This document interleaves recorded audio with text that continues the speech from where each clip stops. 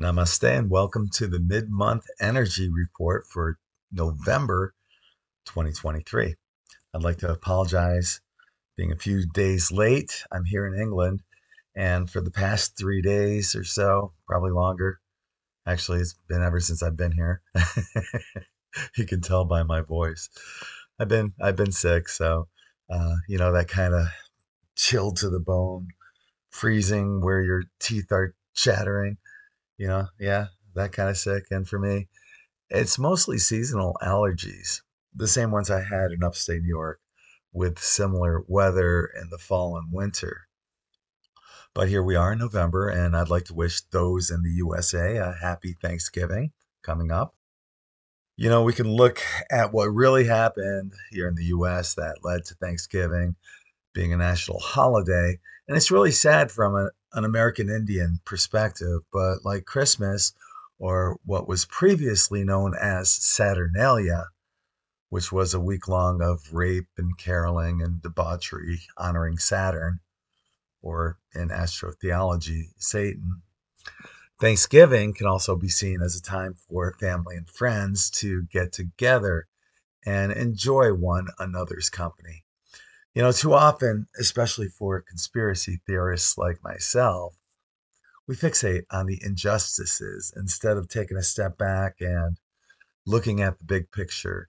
And for this month and the next, there's a huge emphasis on family and friends. So tell your family and friends how much you love them and appreciate them. People come and go in and out of our lives. Don't miss that opportunity to express your love to your loved ones. Okay. I'll get off my soapbox. Younger people are like, what the hell's a soapbox? Actually, when I was a, oh God, I was a kid, when I was a kid, I got to say it like that. When I was a kid, there used to be what was called the soapbox derby. Do any of you remember that?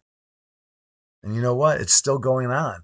The 86th All American Soapbox Derby World Championship will be held in Akron, Ohio from July 14th to July 20th, 2024. And what you're looking at right now is some footage from the first Soapbox Derby back in 1934. But I digress. If you do a search for antique soapboxes, you might find something like this. And as you can see in the photo, it would be easy to envision someone standing on it to better be seen and heard by an audience. Hey, Gregg, this is the mid month energy report, right? Uh, yeah. And what are you doing with my soapbox?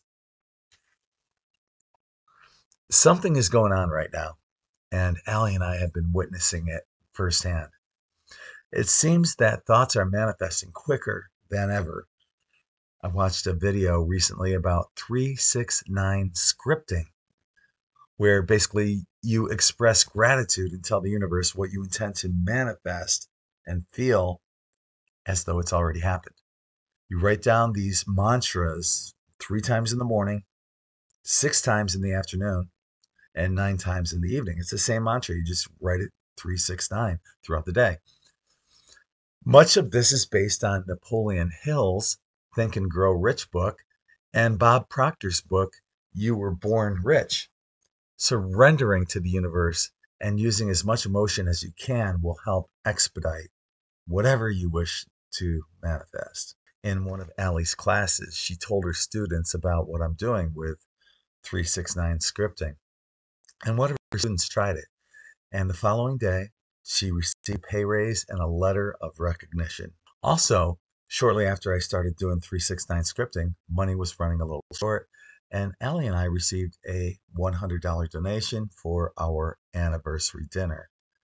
I'll be writing an article about this on In5D, and we'll definitely post it here on Patreon if you're interested in learning more about 369 scripting.